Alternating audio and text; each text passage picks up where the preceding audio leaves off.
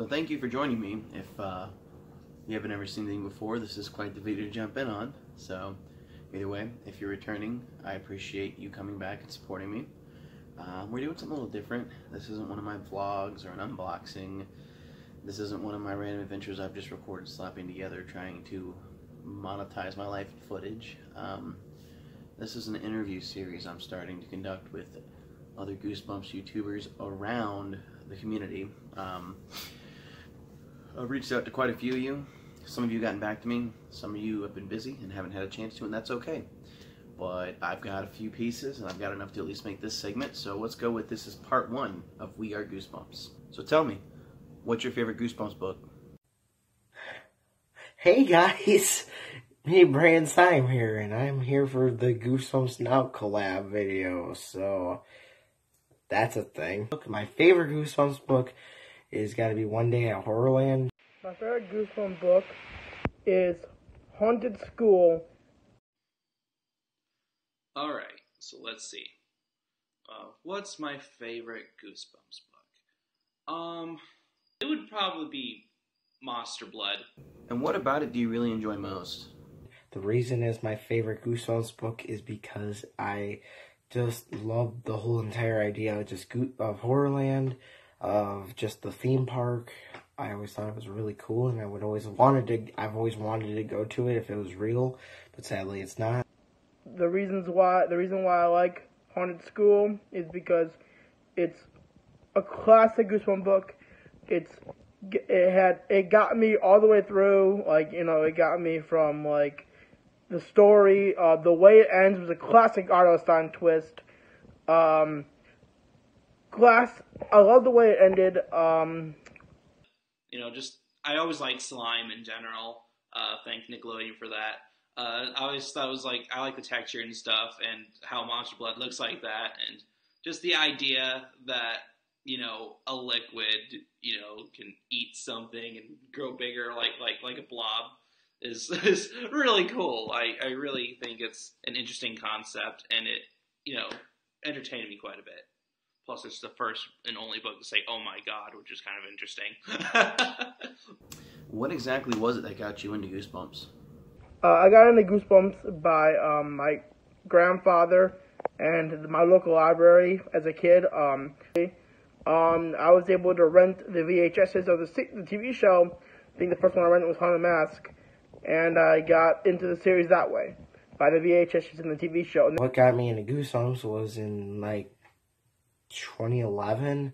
I was at summer school and a girl was reading Egg Monsters from Mars, and I saw the cover. And I thought it looked very interesting, and I asked her what it was, and she said Goosebumps. And then, uh, ever since, uh, well, everyone then, after I saw that day, I kind of wanted, wanted to find them. So I went to Half Price Books by me, and I found my first book, which was number 44, Say Cheese and Die Again. Uh, what got me into Goosebumps?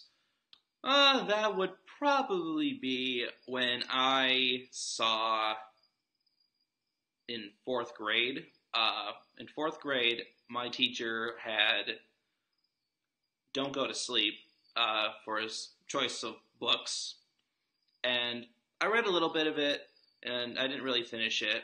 Uh, I did have a friend uh, who had a Attack of Jack o' Lanterns as well. I saw them read during reading time, which was pretty cool. So those were my very first Goosebumps books I remember seeing. You know, that wasn't a question, but but that's how I knew Goosebumps. What what got me into Goosebumps was when I realized there was a TV show about it. I'm like, what? What is your favorite Goosebumps episode? uh, what's my favorite Goosebumps episode? Um,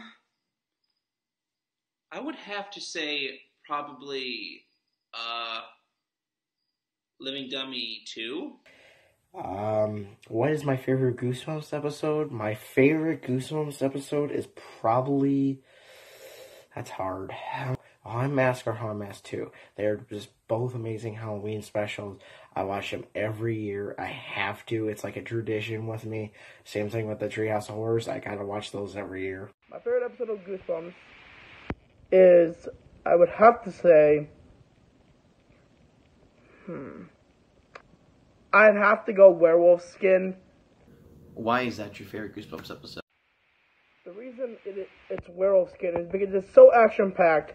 I love the ending. I love the '90s references. There's like, like legit. There was a huge budget that had to be on in that episode because there's an like an action movie from the '90s explosion.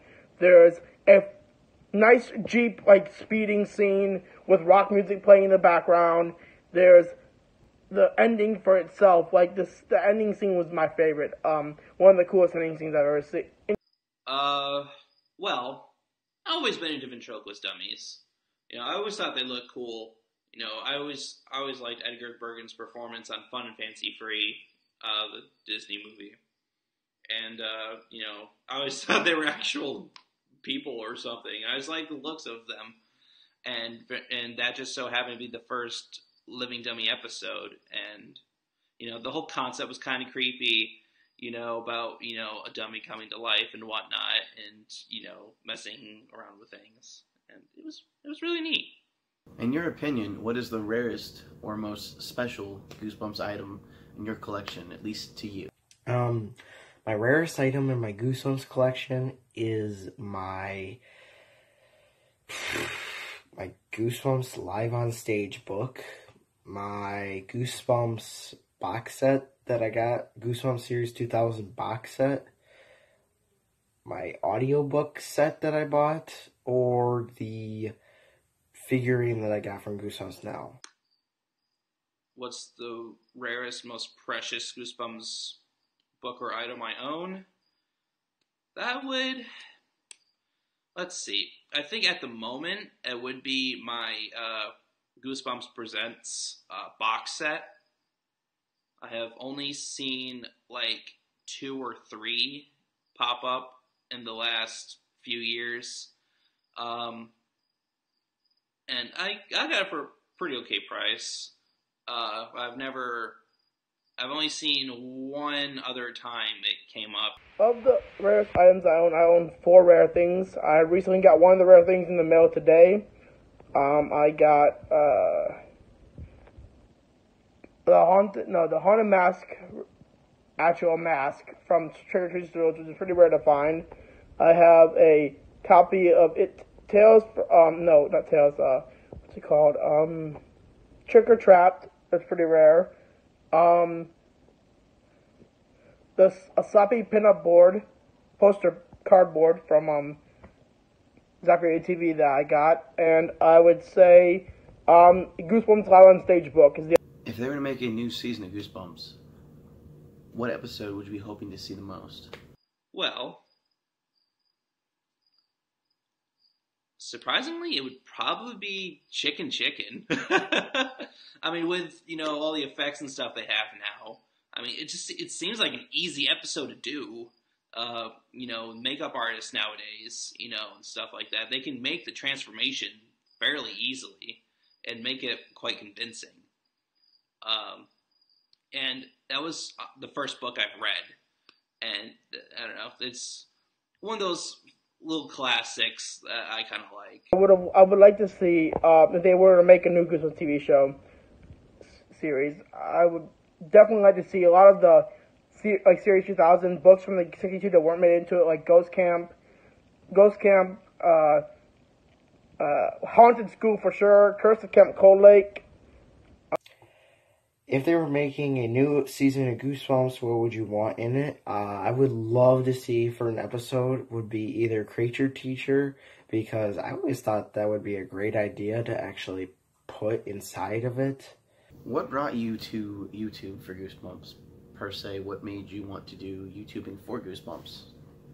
What got me into Goosebumps, um, YouTubing was definitely people like ZakbabyTV, Goose, like you, Goosebumps now. Um, Goosebumps guy, uh, Goosebumps number one Aussie fan, and um, basically those three got those three people got me into Goosebumps YouTubing. Also that, and I'm like, when I got started my YouTube channel, I just did a couple book reviews here and there, and I'm like, you know, when I first started my channel, I'm like, did book reviews, and I'm like, it'd be better if I just started making more Goosebumps content than just book reviews, and like doing updates and collections and stuff like that and then I'm like thrift videos and all that type of stuff, and I'm like, okay, you know what?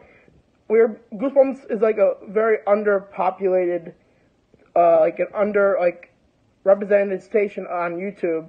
I mean, you got ZakbabyTV, you got you, you got Goosebumps Monster fan, but that's very, like about that's like 15 percent of the people population has Goosebumps stuff. Uh, what got me into Goosebumps YouTubing? Honestly, uh, probably uh, Goosebumps Aussie fan number one. I think his name is. I I'm sorry if I butchered that. but he he got me into Goosebumps YouTubing because his collection is astounding. It's amazing, and I and it's it's awesome, and I aspire to be like that. But there's no way I'd be able to collect all that merchandise. He's the reason why I got into it, and you know, it helped spark my uh, interest in uh, showing off my collections and you know helping people out with certain things and whatnot. So, yeah.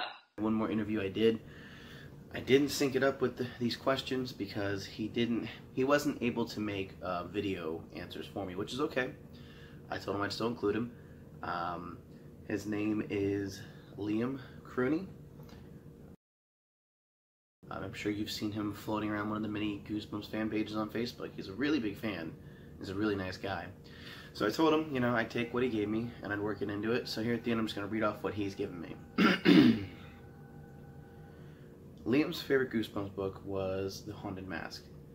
Uh, it was given to him by his brothers, so that's what got him into Goosebumps, and that covers his favorite um, book. It's also his favorite episode. Um, what he likes most about it is, I'm going to read this verbatim. Liam's favorite book is The Haunted Mask, as well as it being his favorite episode. He really enjoys the spooky atmosphere and mystery that Holly brings to the story. Um, Liam's brother gave him the book, and that was his first book, The Haunted Mask. And that's what began his love for these timeless series. Uh, so thanks again for participating, Liam. Uh, I wish you couldn't video, but that's okay. Cheers, mate. And with that, I think that brings a close to part one of this series. Um, I'm happy to continue it. I'm still waiting on a few interviews from a few other YouTubers who have just been busy or out of the state or just haven't had time. That's okay. If you would like to participate in one of these, feel free to hit me up. I'll leave a link in the description on how to get a hold of me so that you may contact me and we can discuss this.